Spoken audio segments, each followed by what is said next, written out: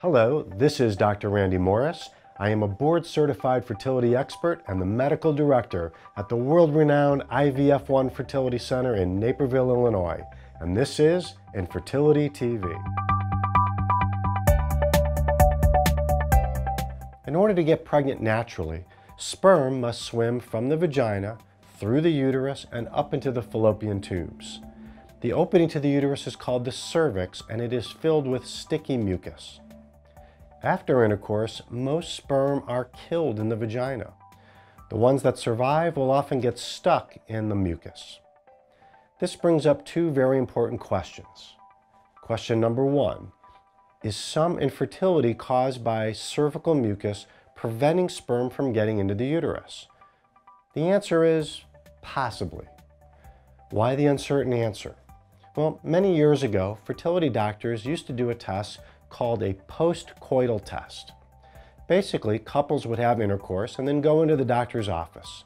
The doctor would extract a little bit of the cervical mucus and look at it under the microscope. Sometimes the doctor would see lots of sperm swimming easily around. Sometimes they saw very few sperm or none. They thought they were measuring how likely sperm were to get through the cervical mucus.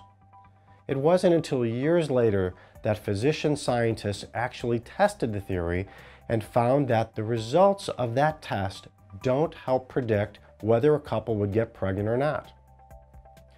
The bottom line is we don't have an accurate way to measure or detect cervical factor infertility. There has also been an old theory that using a non-prescription medication called guaifenesin found in the cough medicine Robitussin would thin the cervical mucus and make it easier to get pregnant. Unfortunately, after many years, there are no good quality studies to show a benefit to this. In fact, there are money studies which fail to show that it works even to help with a cough. If you like this video, remember to like this video and share it in your support groups and on your favorite social media channels. Do you have a topic or question you would like answered on Infertility TV? Let us know in the comments. You don't want to miss any episodes, so subscribe to Infertility TV now and visit our website at ivf1.com.